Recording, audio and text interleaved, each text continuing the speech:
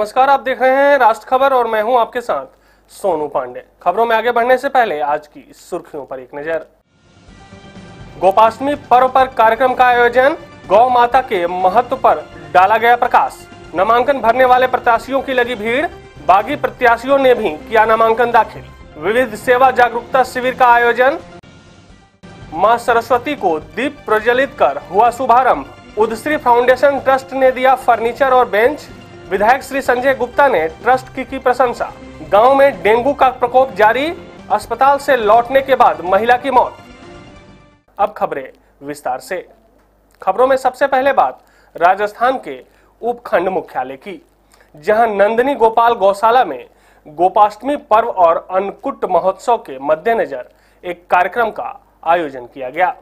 इस दौरान कार्यक्रम में उपस्थित उद्योग मंत्री प्रसादी लाल मीणा ने गौ माता के महत्व पर प्रकाश डालते हुए बताया कि संसार में सबसे बड़ी सेवा गौ सेवा है। उन्होंने कहा कि सभी लोगों को समय निकालकर गौ सेवा करनी चाहिए। राजस्थान सरकार भी प्रत्येक ग्राम पंचायत पर एक गौशाला स्थापित करने जा रही है। अगली खबर राजस्थान के चित्तौड़गढ़ इलाके की, जहाँ नगर परिषद चुनाव के नामांकन की प्रक्रिया के चौथे दिन नामांकन भरने वालों की भीड़ लगी रही। इस दौरान दोनों प्रमुख दलों के प्रत्याशियों के साथ ही कुछ बागी प्रत्याशियों ने भी अपना नामांकन निर्दलीय प्रत्याशी के रूप में दाखिल किया है। बागी प्रत्याशियों के मैदान में उतरने से कई जगहों पर मुकाबला त्रिकोणीय होने की आशंका जताई जा रही है। नंबर इक्यावन से भरने जा रहा हूँ। इसमें काफ़ी कुछ जो क्षेत्र हैं, वो लगभग पचहत्तर परसेंट एरिया मेरा पुराना ही है। और कुछ परिसीमन में बदल के 25 परसेंट एरिया नया जुड़ा है। ये पावटा चौक भारती गली, विष्णु टाकी, सागर कुंड और जो बूंदी रोड का एरिया है, वो एरिया इसमें सम्मिलित नए मुद्दे यहाँ पर जैसे सफ़ाई की व्यवस्था पहले से चली आ रही है, उसी को और सुचारू रूप से बढ़िया करना है।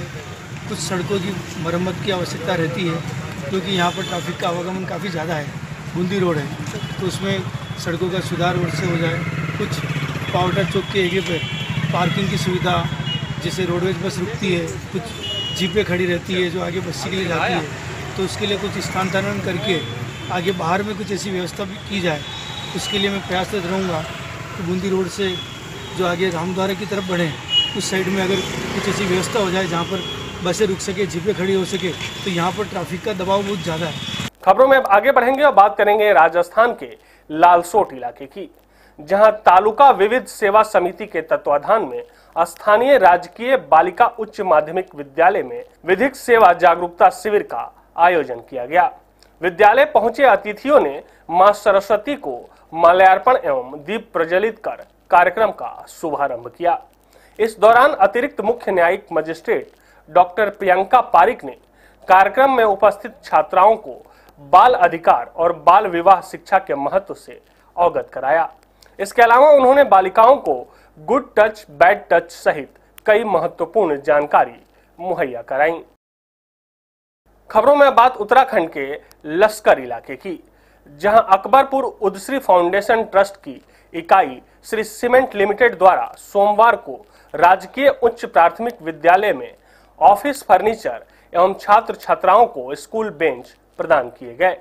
इस मौके पर माननीय विधायक श्री संजय गुप्ता मुख्य अतिथि के तौर पर शामिल हुए, जिसके बाद उन्होंने बच्चों को उत्साहवर्धन किया। साथ ही उन्होंने श्री फाउंडेशन ट्रस्ट की जमकर प्रशंसा की और समाज के विकास में श्री फाउंडेशन ट्रस्ट की भूमिका को तहे दिल से शुक्रिया अदा की।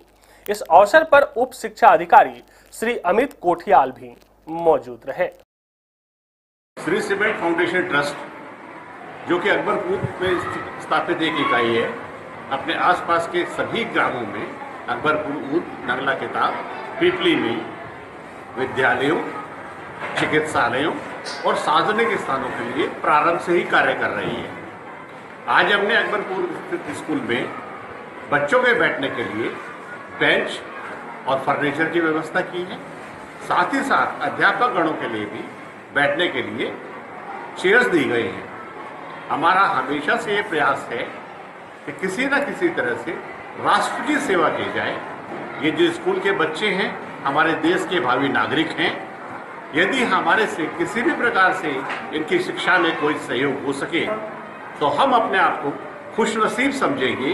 आज फ्री फाउंडेशन ट्रस्ट द्वारा अकबरपुर उद के जो अध्यापक गण हैं स्टाफ है उनके लिए बच्चे के लिए इनके द्वारा कुर्सी यहाँ उपलब्ध कराई गई है, ताकि जो बच्चे हैं, उनके पास कुछ फर्नीचर कम था। फर्नीचर को भी इनके द्वारा उपलब्ध कराया गया। हम फ्री फाउंडेशन ट्रस्ट को बहुत धन्यवाद करते हैं। अगली खबर उत्तराखंड के लश्कर इलाके से है, जहाँ इलाके के डूंगरपुर गाँव में डेंगू होने से लगभग 33 वर्षीय महिला की मौत हो गई है। परिजनों का कहना है कि एक दिन पहले ही हॉस्पिटल से छुट्टी कराकर घर आए थे, जिसके बाद महिला की तबीयत अचानक ज़्यादा खराब हो गई और देखते ही देखते उसने अपना दम तोड़ दिया। बताया जा रहा है कि पहले भी इस गाँव में डेंगू के प्रकोप से एक महिला और एक पुरुष की मौत हो चुकी है। ग्रामीणों का आरोप है कि इस बारे में कई बार सरकारी अस्पताल में जानकारी दी जा चुकी है, लेकिन अभी तक दवाई का छिड़काव नहीं किया गया है। ये डूंगरपुर में तो काफ़ी दिनों से बीमारी हो रही है, जो डेंगू के, डेंगू कारण दो तीन मौत हो चुकी है। और ना तो नाली साफ़ होती है यहाँ पे जिसके कारण और ये पानी भरा पड़ा रहता है जगह जगह पे। कोई सफ़ाई का ध्यान नहीं दिया जाता जिसके कारण बीमारी बढ़ती रहती है। ये हो रहा है यहाँ पे तो। आज जो मृतका है ये डेंगू से ही इंतकाल हाँ जी डेंगू से ही हुआ है इनका। तो स्वास्थ्य विभाग की टीम यहाँ गाँव में आज तक आई नहीं? नहीं नहीं कोई स्वास्थ्य विभाग की टीम नहीं आई है ना ही यहाँ पे कोई सफ़ाई के लिए आता है कुछ नहीं है यहाँ पे। अगली खबर उत्तराखंड के रुड़की इलाके से है जहाँ नगर निगम चुनाव के बागी प्रत्याशी के रूप में उतरे। गौरव गोयल को बीजेपी की तरफ़ से लगातार मनाने की कोशिश की जा रही है। उनको मनाने के लिए एक के बाद एक बड़े नेता उनसे मिलने पहुँच रहे हैं। मंगलवार को भी पार्टी के वरिष्ठ नेता नरेश बंसल, प्रदेश महामंत्री विनय गोयल आदि सहित नेताओं ने उन्हें मनाने की पुरजोर कोशिश की। लेकिन गोयल का साफ़ तौर पर कहना है कि पार्टी को जो फैसला लेना था, वो ले चुकी है। अब जनता की बारी है। से बाहर जा कर के जो व्यक्ति पार्टी से बाहर जा कर के चुनाव लड़ता है, पार्टी की एक प्रक्रिया है, उसी के निमित्त प्रदेश महामंत्री अनिल गोयल जी मान्य नरेश बंसल जी मान्य रोहिला जी मान्य जिलाध्यक्ष जी, सब लोग आए थे और उन्होंने प्रयास किया कि मैं पार्टी के बाहर जा कर के चुनाव न लड़ूँ पार्टी की प्रक्रिया। मैं चुनाव लड़ने निश्चित रूप से जा रहा हूँ, लड़ रहा हूँ रुड़की नगर की जनता मुझे चुनाव लड़ा रही है। मुझे तो अब सिर्फ़ और सिर्फ़ रुड़की नगर की जनता ने जो विश्वास मुझ पर जताया है, जो मुझे स्नेह दिया है, उसका ध्यान रखना है और उनके द्वारा जो मुझे जनादेश मिलेगा और मैं वहाँ बैठा तो निश्चित रूप से उनके उम्मीदों पर मैं खरा उतरूँ। अगली खबर उत्तराखंड के लाल कुआँ इलाके से है, जहाँ हल्द्वानी प्रभाग वन के वनाधिकारी महातिम यादव ने अपने प्रभाग के सभी वन बीट चौकियों, रेस्ट हाउस और रेंज कार्यालय का निरीक्षण किया। बताया जा रहा है कि जंगलों के बीच बनी वन सीट चौकियों में लाइट और पेयजल की प्रमुख समस्या देखी गई है। यहाँ वन रक्षकों के सामने सबसे बड़ी चुनौती हाथियों की है जो कभी कभी यहाँ आकर वन चौकियों में कई सामानों को निशाना बना देते हैं। हाँ, ये हल्द्वानी वन प्रभाग के अंतर्गत नंदौर वन्यजीव अभ्यारण्य का जो क्षेत्र आता है तो उसमें जोलासाल रेंज के आज दौरे पर मैं था। तो जोलासाल रेंज की जितनी भी चौकियाँ हैं और जो रेंज ऑफ़िस है, वो हमारा पावर ग्रिड से जुड़ा हुआ नहीं है। और वहाँ पर जो सबसे बड़ी आज के समय में जो समस्या है, जो चुनौती है, वो ये है कि वहाँ पर बिजली की एक सुचारू व्यवस्था करना है। तो इसके तहत सोलर पैनल्स की व्यवस्था की जा रही है, सोलर इन्वर्टर्स लगाए जा रहे हैं, ताकि रोशनी की अच्छी व्यवस्था हो सके और गर्मी के समय में ग्रीष्म ऋतु में पंखे भी चल सकें और जो बड़ी चौकियाँ हैं, वहाँ पर अगर हो- संभर संभव हो सके तो टीवी वगैरह भी चल सकें। खबरों में बात मध्य प्रदेश के बैरसिया इलाके की, जहाँ एसडीएम आशीष सांगवान द्वारा शांति समिति बैठक का आयोजन किया गया। बैठक में दोनों पक्षों के गणमान्य नागरिक और वरिष्ठ पत्रकार मौजूद रहे। इस दौरान अयोध्या मामले को लेकर सुप्रीम कोर्ट से आने वाले फैसले के मद्देनजर सुरक्षा व्यवस्था बनाए रखने पर चर्चा की गई। ज्ञात हो कि असामाजिक तत्वों से निपटने के लिए पुलिस पूरी तरह से मुस्तैद है। बैठक के दौरान एसडीएम ने जनता से शांति बनाए रखने की अपील की। सर आज जो बैठक रखी गई थी शांति समिति की आज तहसील प्रांगण में शांति समिति की बैठक ऑर्गेनाइज की गई थी जिसमें बैरसिया के सभी गणमान्य नागरिक शांति समिति के मेंबर्स आम जनता मीडिया के बंधु सभी उपस्थित हुए, सारे अधिकारी भी उपस्थित थे। सबसे यह चर्चा की गई थी जो अभी आगामी अयोध्या मुद्दे को लेकर जो माननीय सुप्रीम कोर्ट जजमेंट देने वाली है तो उसके संबंध में हम, हमारी तैयारी क्या रहेगी? तो इसमें सभी से चर्चा की गई, जो भी हमारे सबको समझाया गया कि सभी कम्युनल हारमोनी बना के रखें। और क्योंकि ये सब लोग समाज को रिप्रेजेंट करते हैं, जनप्रतिनिधि हैं, गणमान्य नागरिक हैं, इनसे अनुरोध किया गया कि ये अपने अपने मोहल्ले एरिया में जाके भी सभाएँ करें और सबसे शांति की अपील करें और सबको बताएँ कि ऐसा कुछ ना करें जिससे पुलिस को कोई कार्रवाई करनी पड़े। अगली खबर भी मध्य प्रदेश के बैरसिया इलाके से है, जहाँ मुख्यमंत्री द्वारा तीर्थ दर्शन का आयोजन किया गया। इस दौरान पटना साहिब की यात्रा के लिए बैरसिया नगर पालिका वार्ड संख्या तेरह के पार्षद भाग्यश्री चंचल खत्री ने अपने वार्ड से 60 बुज़ुर्गों की यात्रा के लिए रजिस्ट्रेशन कराया। साथ ही पार्षद खत्री खुद अपने वार्ड के बुज़ुर्गों के सहायक बनकर यात्रा के लिए रवाना हुए। इस अवसर पर सीएमओ निरुपमा शाह ने यात्रियों का रेंज चौराहा माता मंदिर पर पुष्प मालाओं से स्वागत किया। बताया जा रहा है कि पार्षद ने अब तक अपने वार्ड से 760 यात्रियों को तीर्थ दर्शन करा चुके हैं। खबरों में अब बात यूपी के बुलंदशहर इलाके की, जहाँ श्री राम जन्मभूमि विवाद पर सुप्रीम कोर्ट के आने वाले फैसले को लेकर डीएम और एसएसपी ने ज़िले भर के उलेमाओं के साथ मीटिंग कर क्षेत्र में शांति व्यवस्था बनाए रखने की हिदायत दी है। इसके साथ ही उनसे मस्जिद और मदरसों में आने वाले लोगों को समझाने की भी अपील की गई है। वहीं मुस्लिम उलेमाओं ने भी प्रशासन को अपने तबके के लोगों को समझाने का भरोसा दिलाते हुए प्रशासन को यह सुझाव दिया कि अगर ये मीटिंग हिंदू भाइयों के साथ भी होती तो प्रभाव अधिक होता। देखिए, आपको मालूम है कि निकट भविष्य में माननीय उच्चतम न्यायालय द्वारा अयोध्या के संबंध में जो फैसला आना है तो हम लोग प्रिवेंटिव मेजर्स के तहत जनपद के जितने भी इफ़ेक्टिव मुस्लिम समुदाय के लोग हैं, ज़्यादातर लोगों को बुला के आज उस शांति, सौहार्द को, सौहार्दपूर्ण माहौल को कायम रखने और कैसी, किसी भी इमरजेंसी सिचुएशन से बचने के लिए आज उनसे वार्ता की गई।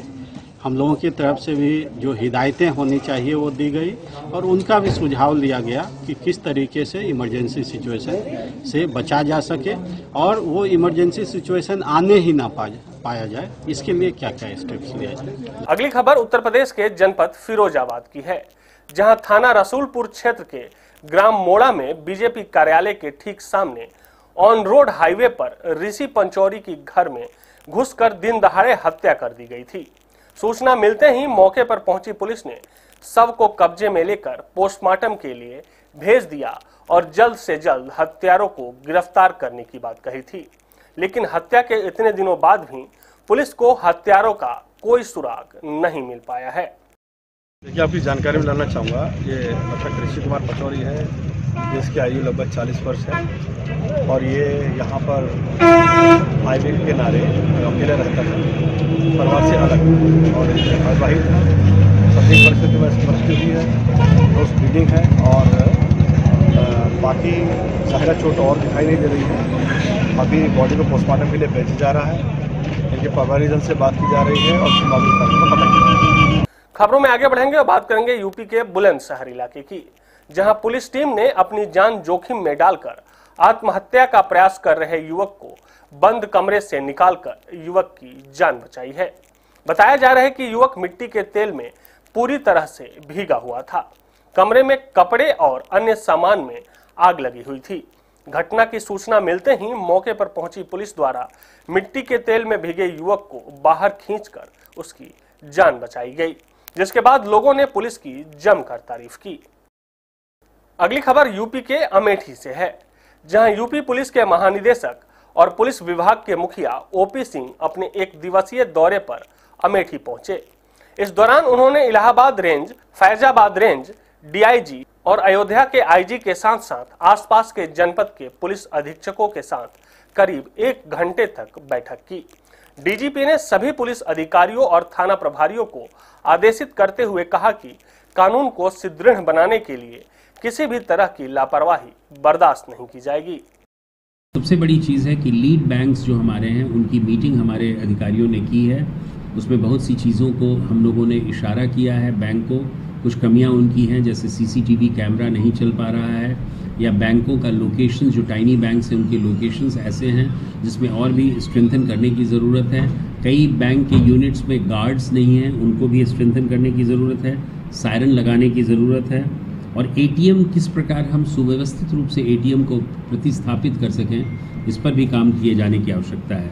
लेकिन कई ऐसे अपराध हैं जिनमें हमने क्लोजर मॉनिटरिंग करके अपने क्षेत्राधिकारियों से भी बात किया और क्षेत्राधिकारियों से बात करने के बाद एक निष्कर्ष ये निकला कि हमारी यद्यपि क्राइम अपराध की स्थिति में बहुत सुधार हुआ है पिछले दो सालों में, फिर भी हम और भी ज़्यादा मेहनत करके अपराधियों को और भी कठोरतम सज़ा दिलवा सकते हैं और उसकी प्रतिबद्धता हमने आज देखी अपने अधिकारियों में और उस पर हम काम करेंगे।